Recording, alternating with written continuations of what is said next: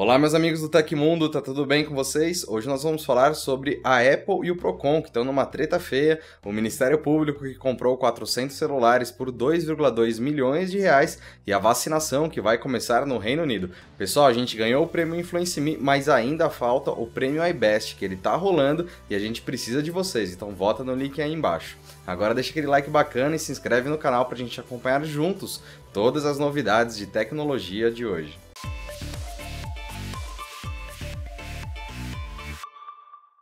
Esta edição do Hoje no Tecmundo é um oferecimento de Oi Fibra. Quer saber como a fibra ótica pode mudar a sua vida e acelerar todos os seus momentos? Fique ligado porque vamos mostrar isso ainda nesta edição. O governo do Reino Unido aprovou e autorizou a distribuição da vacina BNT 162B2 contra a Covid-19, desenvolvida pelos laboratórios Pfizer e BioNTech. Essa foi a primeira nação ocidental a aprovar um protocolo de imunização e já estabeleceram a data para o início do do procedimento. As autoridades regulatórias britânicas confirmaram que as 800 mil primeiras doses serão disponibilizadas a partir da próxima semana. Idosos em casas de repouso e funcionários desses estabelecimentos serão os primeiros da fila, seguidos por pessoas acima de 80 anos, funcionários de setores de saúde e pessoas clinicamente extremamente vulneráveis, parte dos grupos de risco da doença. De acordo com a BBC, a encomenda é de 40 milhões de unidades, o que significa a imunização de 20 milhões de pessoas, já que aplica acontece em duas vezes. Enquanto isso, a gente está aqui de bumbum pronto para receber as nossas doses. Batemos um papo sobre o futuro dos games junto com o pessoal da PlayHard. Você quer uma internet segura, estável e sem lags para o seu multiplayer funcionar sem engasgos? A Oi Fibra chega para suprir essa demanda e traz planos bem bacanas de 500 MB de download e 250 MB de upload por R$ 149,90 por mês, mais HBO Go por 6 meses. Achou legal? Confira nos links aqui embaixo.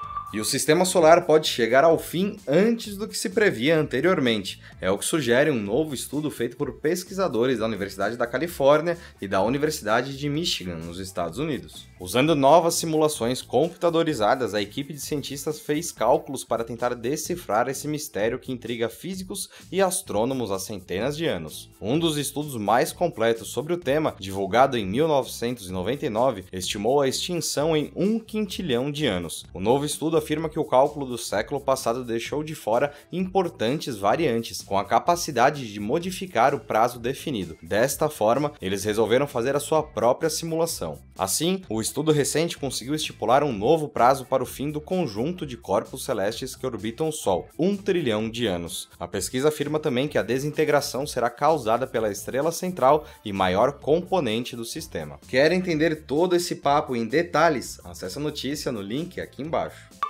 E o lançamento de Cyberpunk 2077 está cada vez mais próximo, será? E isso nos dá a chance de receber alguns detalhes adicionais referentes ao que veremos na aventura.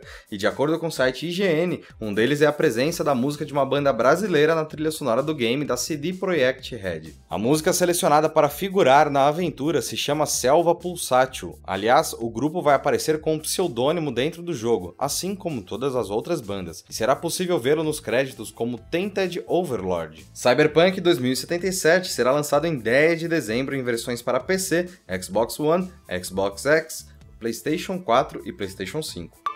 E nessa quarta-feira o Procon anunciou que exigirá que a Apple forneça carregador aos clientes que comprarem o iPhone 12 no estado. Em outubro, a fundação havia notificado a Apple sobre a ausência do acessório, exigindo explicações relacionadas ao suposto benefício ao meio ambiente. O Procon entende que, ao comprar um novo aparelho, o consumidor tem a expectativa de não só o iPhone apresentar melhor performance, como também o adaptador de energia, fazendo referência à qualidade assegurada pelos carregadores originais da companhia, quando comparado a alternativas de marcas concorrentes. Segundo o Procon, a Apple não demonstrou que utilizar carregadores antigos não compromete o processo de carregamento e segurança durante a recarga. Além disso, a resposta também não garantiu que o uso de carregadores de terceiros não violaria a garantia do iPhone 12, deixando a entender que recarregar com baterias com acessórios alternativos poderia servir de recusa para eventuais solicitações de reparo. O Procon também não entendeu direito esse papo de meio ambiente da Apple e agora a conduta da Apple será analisada pela diretoria de fiscalização e se forem constatadas infrações à lei, a Apple pode ser multada conforme prevê o Código de Proteção e Defesa do Consumidor.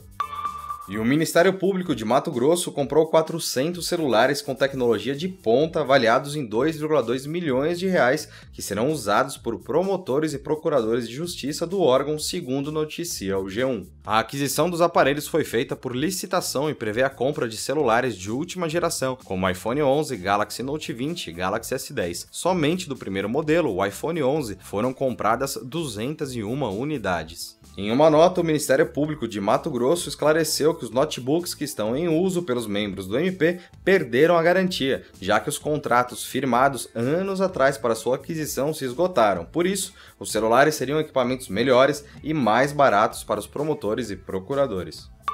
Aconteceu na história da tecnologia. Em 2 de dezembro de 1991, a Apple lançou a versão 1.0 do QuickTime, uma extensão multimídia para reproduzir vídeo colorido, transformando as capacidades dos computadores pessoais. Antes do QuickTime, apenas computadores especializados podiam reproduzir vídeo colorido. O QuickTime permitia que qualquer pessoa com um computador pessoal o fizesse e mudou a história da computação.